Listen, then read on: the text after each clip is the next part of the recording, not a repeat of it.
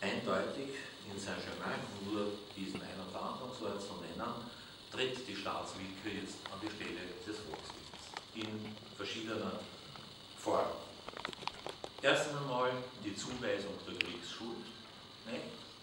Schuld am Krieg sind die Verliererstaaten und wer schuld ist, der zahlt sozusagen Schadenersatz, würde man privatrechtlich sagen. Also es geht darum, wer zahlt die Reparationen und die Reparationen, die zahlen eben die, die verloren haben, aber nicht nur, weil sie verloren haben, sondern weil sie den Krieg begonnen haben, nicht? weil sie so gegen Regeln des Völkerrechts, gegen jeden Anstand und alles Mögliche einen Krieg von Zaun gebrochen haben. Sie werden wissen, dass man sich damit ja in der Geschichtsschreibung gerade im Rückblick auf 1914 in den letzten Jahren sehr viel den Kopf zerbrochen hat und eigentlich muss man sagen, dass in der Geschichtsschreibung diese Alleinschuld Deutschlands und Österreichs, dass die mittlerweile eindeutig widerlegt ist. Nicht? Und ähm, setzt sich wahrscheinlich erst ziemlich langsam durch und das ist auch richtig. Von, einer, von einer einseitigen Schuld Deutschlands und Österreich kann angesichts der russischen Mobilmachung und allen möglichen anderen Initiativen, auch positiver Initiativen, eigentlich keine Rede sein. Aber in den Pariser Verordnungen sieht man das natürlich anders. Es geht um die Reparationen, die so hoch sind, dass nicht nur vernünftig denkende Menschen, sondern auch die Fachleute gewarnt haben, so viel Reparationen von Deutschland zu verlangen. Man hat das dann immer weiter heruntergesetzt, weiter heruntergesetzt, aber Deutschland hat bis 1952 oder 1953 noch immer Reparationen gezahlt. Es geht zweitens darum, die Verliererstaaten zu schwächen. Also es sollte vom deutschen Gebiet nicht abermals ein Krieg ausgehen, Österreich ähnlich, aber das ist jetzt relativ klein und keine Gefahr. Immerhin durch die Beschränkungen der deutschen Wehrmacht auf ein 10.000 Mann, auf ein 100.000 Mann her, des österreichischen Bundesheers auf eine Stärke von 30.000 Mann, die nie erreicht worden ist im Übrigen, standen diese Armee, 100.000 Mann und 30.000 Mann, unter anderem einer Kriegsstärke Frankreichs von 5,5 Millionen und der Tschechoslowakei von 1,2 Millionen gegenüber. Es gibt die Gebietsabtretung, vornehmlich an die Siegerstaaten, in vielen Fällen ohne die Bevölkerung zu fragen, ohne den Monopol und es kommt eben zu Volksabstimmungen in manchen Gebieten, die bei uns doch für Österreich ausgehen, wie Sie wissen, etwa in Kern. Die Grenzziehungen erfolgten in keiner Weise sozusagen entlang den Sprachgrenzen, entlang dem Volkswillen, wenn Sie so. Die Gründe für die Grenzziehungen, ich will das nur kurz zusammenfassen, waren unterschiedlichster Natur. Sie waren natürlich einmal strategisch bedingt, nicht? Brennergrenze für Italien. Sie waren auch dadurch bedingt, dass man Verkehrswege auf einem Staatsgebiet zur Gänze belässt. Beispielsweise die Bahnlinie von Lundenburg nach Znaim auf tschechischem Gebiet. Egal wie jetzt die Volksbundsgrenze verläuft. Der Bahnhof in Gmünd beispielsweise kommt an die Tschechoslowakei, Gmünd wird dadurch geteilt. Die Bundesbahn, die Staats- und auch Bundesbahnen müssen einen neuen Bahnhof bauen in Gmünd. Und da gibt es jetzt noch viele Beispiele, mit denen ich Sie nicht behelligen möchte. Zu den strategischen Erwägungen gehört beispielsweise auch der Vorort äh, von, ich sage das ist bewusst, von Bratislava, nämlich Petroschalka, das heißt Engerau, früher mit, Bratis, mit Pressburg, Bojany keinen außer einem räumlichen Kontakt hatte. Nicht? Aber da wurde äh, südlich der Donau ein Brückenkopf an die Tschechoslowakei angehängt, um von dort Ungarn oder eben Österreich leichter bedrohen zu können. Ist uns also selbstverständlich, nicht? dass man nach Bratislava fährt und in Petroschalka aussteigt, was eigentlich äh, früher mal ganz anders war. Etwas gibt es allerdings bei uns in Mitteleuropa noch. Nämlich, dass man die Bevölkerung ausgetauscht hat. Das geschah ganz massiv zwischen der Türkei, der türkischen Republik und Griechenland. Man das ganz grob sagt, kann man sagen, die Griechen aus Kleinasien wurden auf die Inseln äh, verschifft und die Türken, die es im griechischen Staat gibt, die konnten wieder, wieder unter Anführungszeichen, zurück nach Kleinasien mit einer ganz, ganz großen Bewegung in beiden Richtungen. In beiden Richtungen. Da kann man sagen, von so etwas blieb Mitteleuropa ja verschont. Nicht? Noch, noch verschont. Das stimmt in einem Fall aber überhaupt nicht. Das stimmt im Fall von Elsass-Lothringen nicht, denn die Deutschen, die in Elsass nach 1870, 71 zuzogen, mussten das Land verlassen.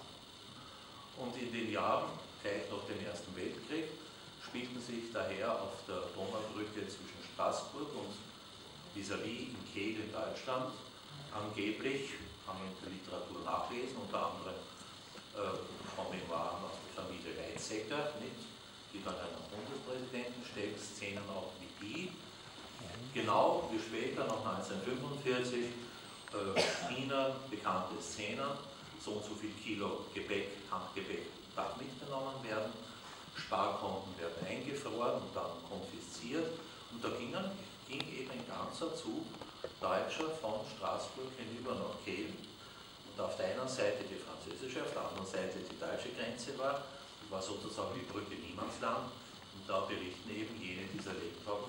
Auf der Brücke haben wir dann noch das verloren, was wir gerne mitgenommen hätten, wie Uhren und ähnliches und kann noch leichter am deutschen Uran als im französischen weggegangen sind. Aber also wie gesagt, das ist in Mitteleuropa ansonsten doch nicht geschehen.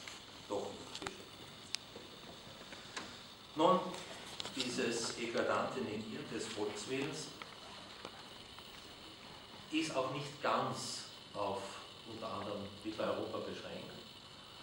Was vielleicht hier und da auch nicht so ganz im Bewusstsein ist, der Kontinentaleuropäer, dass schon im Ersten Weltkrieg die Iren mit, in Irland mit dem Aufstand begonnen haben, 1916, gibt es schon den Osteraufstand, und Sie vorstellen, nicht aber Großbritannien befindet sich ja im Krieg und die Iren verlangen ihren eigenen Staat. Verlangen ihren eigenen Staat. Nun, die Grenze in Irland blieb lange umstritten, so wie wir es halt gewohnt sind. Nicht? Nordirland britisch und der Rest Freistaat. Das war ursprünglich noch lange nicht so klar, wie die Grenze da verlaufen wird. Aber vor allem strittig blieben bis zum Zweiten Weltkrieg nahezu alle Grenzen der neuen Staaten in Osteuropa. Also alle Staaten, die beginnend oben mit Finnland, über die baltischen Staaten, die Tschechoslowakei und so weiter, sich neu gegründet haben, bis hinunter auch zur türkischen Republik. Alle Grenzen waren umstritten, trotz der Verträge, trotz der Friedensverträge. Es gab Streitigkeiten mit den Polen rundherum, mit allen anderen Staaten. Und ich kann das jetzt nicht alles aufzählen, ähm, welche Kleinigkeiten immer wieder für Unruhe gesorgt haben. Die, zum Beispiel die deutsch-polnische Grenze, obwohl im Vertrag von Versailles fixiert, ist von den deutschen Reichsregierungen im Prinzip nie richtig anerkannt worden. Es gab dann erst eine Reichsregierung nach dem Jahr 1933, die diese Grenze zumindest vorläufig anerkannt hat. Es gab Bündnissysteme zwischen diesen Staaten, die allerdings diese Unzufriedenheiten nur sehr oberflächlich unter einen Hut gebracht haben. Die sogenannte kleine Entente in, mit dem osteuropäischen Staat und dahinter stehen die französische Macht als sozusagen Protektionsmacht. Interessant ist, dass dieses ganze System von Versailles, wenn man es ja kurz nennt, doch zu Recht so nennt, auch im Westen Unbehagen hervorgerufen hat. Nicht? Es gab genug englische Politiker, die auf Distanz gingen zu dem, was in Versailles passiert ist. Und sie wissen, dass die USA diese Verträge, die sogenannten Pariser Vorteilverträge, nicht unterzeichnet haben. Also die USA haben Versailles und Saint-Germain nicht unterzeichnet, sind keine Vertragspartner dieser Verträge. Österreich hat mit den Vereinigten Staaten einen eigenen Vertrag abgeschlossen, sozusagen parallel zum Vertrag von Saint-Germain. Wenn man die beiden Verträge vergleicht, vor allem den Versailler Vertrag mit dem Vertrag für Deutschland, so ist es hoch auffallend, dass alle diese diskriminierenden Bestimmungen, die Versailles enthält, nicht? also Deutschland ist schuld, also der ganze Vertrag der ist ja in einem Ton gehalten, wie das für einen Frieden überhaupt nicht förderlich ist. Das fehlt in dem Vertrag. Mit den USA, die ziehen sich zurück. Diese sogenannte Splendid Isolation. Wir, ich bin jetzt ein bisschen polemisch und sage, wir haben unser Geschäft gemacht und jetzt ziehen wir uns als Europa wiederum zurück. In England, ein bisschen in Frankreich, kommt es zu einem Nachdenken. Es kommt zu der englischen Appeasement-Politik nämlich zur Befriedigung dieser Situation in Europa. Und es gibt da immer einen Vertrag, der dann als typisch für diese Krisenpolitik genannt wird. Das ist das Münchner, Abkommen 1938. Das ist leider, muss ich sagen, eine absolut verkürzte Sicht der Dinge, denn es liegt völlig klar auf der Hand, dass dieses Münchner Abkommen 1938 nicht der Schritt war zu dem, was dann passiert, sondern im Münchner Abkommen steht ausdrücklich, ist ausdrücklich ein Hinweis enthalten auf bereits vorhandene Absprachen. Tatsächlich haben Großbritannien und Frankreich die Tschechoslowakei grundsätzlich dazu gebracht, auf die sudetendeutschen Gebiete zu verzichten. Auf die sudetendeutschen Gebiete zu verzichten. Und Sie werden das vielleicht detailliert auch besser wissen äh, dass die Engländer ja gesagt haben, wir wollen uns das mal anhören, wie das da jetzt wirklich ist in der Tschechoslowakei mit den Volksgruppen. Wir schicken da einen sehr integren äh, Mann nach äh, in die Tschechoslowakei, der seine Erfahrungen hat, denn er ist in Historikerkreisen bekannt bis heute. Runciman, Runciman hat, hat nämlich eine Geschichte der Kreuzzüge geschrieben. Nicht? Dadurch hat er es jetzt empfohlen, äh, sich über die Tschechoslowakei einurteilen. Das geschah auch und Runciman hat der britischen Regierung empfohlen, so geht es nicht mehr, mehr weiter. Die Deutschen wollen in der Tschechoslowakei überwiegend los von. Sie begnügen sich auch nicht mehr nur mit Autonomie, sie wollen so weg und das Münchner Abkommen legt dafür dann die Grundlage. Das heißt, das System von Versailles ist ins Wanken geraten. Und die Tschechoslowakei, aber nicht nur, ist wohl das beste Beispiel. Davon profitiert hat aber nicht nur Deutschland, es haben alle sich an der Tschechoslowakei jetzt bedient.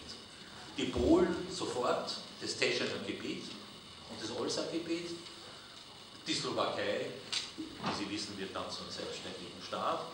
Es haben alle diese Grenzprobleme, die sie die ganze Zeit haben, jetzt mehr oder weniger in ihrem Sinn lösen können. Also Ungarn beispielsweise mit erheblichen Gebieten in der Südslowakei, die dann zu unternehmen. 1945 kann man jetzt sagen, bediente man sich des asiatischen Musters, ne? Türkei, Griechenland, und hat rückkehrend zu der Ordnung von Versailles eben wenn man das nüchtern sieht, die Parole befolgt, die Staatsgrenzen müssen auch Volksgrenzen werden. Nicht die Volksgrenzen müssen Staatsgrenzen werden, sondern umgekehrt. Und das machen wir einfach so, wir siedeln die Leute aus. Brauche Ihnen nicht sagen, wie das tatsächlich in dem einen oder anderen Staat passiert ist. Interessant ist vielleicht, dass ja die, die ausgesiedelt wurden, nicht in ein gelobtes Land kamen. Die deutschen Städte waren zerbombt. In Deutschland war Hunger allenthalben. Es wäre noch viel ärger gewesen, wenn nicht unter anderem die Amerikaner ihre Überschussrationen, die sie für die Soldaten nicht mehr brauchen, jetzt zur Verfügung gestellt haben. Nicht? Also wenn man nachher dieser Ausgesiedelten dort gelassen hätte, wo sie waren, wäre es ihnen wesentlich besser gegangen. Wäre es ihnen wesentlich besser gegangen. Aber Churchill beispielsweise hat zwar nicht die Vertreibung jetzt äh, begründet, aber Churchill hat begründet, warum man jetzt die Vertriebenen aufnehmen kann in Westdeutschland, in Deutschland in die Grenze von 1937, wie es so schön ist, nämlich damit, dass es ja in Deutschland eine massive Entvölkerung gab, die toten Soldaten, die tote Zivilbevölkerung in den Bombenkriegen, da ist ja jetzt Platz. Vielleicht hat er es zynisch gemeint, vielleicht hat er es auch ehrlich gemeint, aber jedenfalls, es ist nicht ganz falsch sozusagen. Nicht? In dem Rest, in Deutschland, Grenzen von 1937, gab es ja tatsächlich ein bisschen Platz durch die Millionen von Toten. Es ist aber eine absurde Argumentation und man könnte sie heute ja nicht einmal mehr benutzen. Nicht? Denn heutzutage wäre ja eigentlich kein Platz durch einen dritten Weltkrieg geworden. Der Ostblock mit seiner kommunistischen Diktatur hat dieses Auseinanderklaffen von Staatswillkür, Volkswille überdünkt, klein gehalten zumindest, eben durch die kommunistische Diktatur in den verschiedenen Staaten. Natürlich war doch immer ein bisschen die Rede davon, in Jugoslawien haben eigentlich die Serben das Sagen und weniger die Kroaten. Ach ja, da gibt es noch die Slowenen, aber wir sind nur 1,5 Millionen. Aber die Serben, das ist eigentlich doch ein Großserbe. Nicht? Und in der Tschechoslowakei, die nach 45 Jahren einen Teil verloren hat, ähm, der vor dem Zerfall der Tschechoslowakei nie die Stellung bekommen hatte, die sie hätte haben sollen, nämlich die Karpato-Ukraine, das ist der ganz östliche Zipfel, die autonom hätte sein sollen mit einem eigenen Landtag, ist nie geschehen. Da war es wohl auch klar, dass die Tschechen dominieren, dass die Tschechen die Slowaken dominieren. Wie der Ostblock zerfällt und wie die Demokratie dort einzieht, also sagen wir so, wie demokratische Verfassungen dort erlassen werden, bricht der Nationalitäten Gegensatz aber auf. Das haben wir ja im Internet. Es entsteht der slowakische Staat, kann man sich gut erinnern, ein tschechischer Kollege zu mir gesagt hat, ach, wenn die Slowaken ihren faschistischen Staat haben wollen, dann sollen sie ihn bloß haben. Nicht? Also die Slowakei ab 1938 war ja so Art ja, faschistoider Staat. Die Slowenen haben sich von Jugoslawien relativ friedlich abgetrennt.